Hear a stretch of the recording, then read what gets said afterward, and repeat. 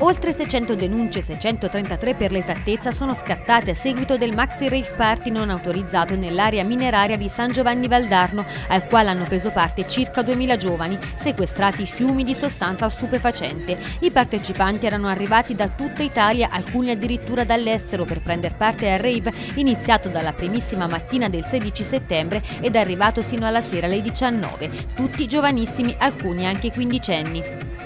Una giornata dunque non stop di musica e sballo al termine della quale i carabinieri della compagnia di San Giovanni Valdarno hanno denunciato gli oltre 600 giovani per l'invasione di terreni ed edifici, ben 100 invece militari impiegati nei vari turni per monitorare l'evento.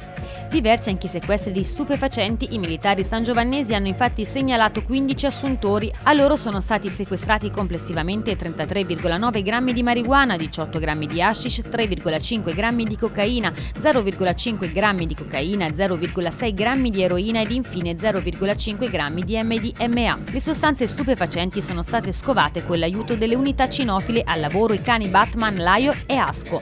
Infine un ragazzo nella giornata di domenica ha rischiato un arresto cardiaco cardiaco per l'uso smodato di stupefacenti è stato salvato dal personale presente del 118, che ha immediatamente somministrato farmaci idonei. Altri due ragazzi si sono presentati invece all'ospedale di Montevarchi con ferite da taglio. I militari della stazione di Castelnuovo dei Sabbioni infine hanno identificato uno degli organizzatori. Si tratta di un ragazzo di Cavriglia che è stato denunciato per aver organizzato una manifestazione non autorizzata.